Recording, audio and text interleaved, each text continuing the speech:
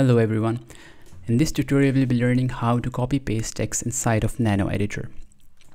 So let's go ahead and open the Nano Editor. We do that by typing nano and then the name of the file. This file already has some text so let's go ahead and enter some more text.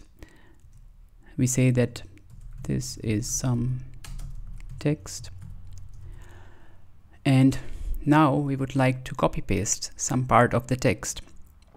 Let's say we just want to copy some text. We go to that place using the arrow keys on our keyboard and then we would like to select that text by keep pressing the shift key and then using the arrow keys to select that text and in order to copy it all we have to do is press alt plus 6 so we copy it by alt 6 now the text has been copied.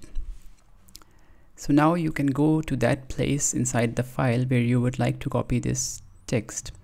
Let's say we wanted to copy the text here.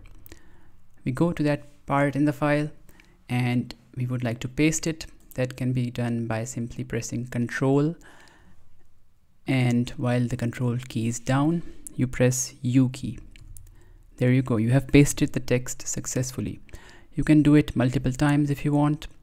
And then once you have pasted the text you can save this file by hitting the control and S key to save the file and then to exit it by control X. So that's it for this tutorial. Hope you liked it. See you in the next time. Bye bye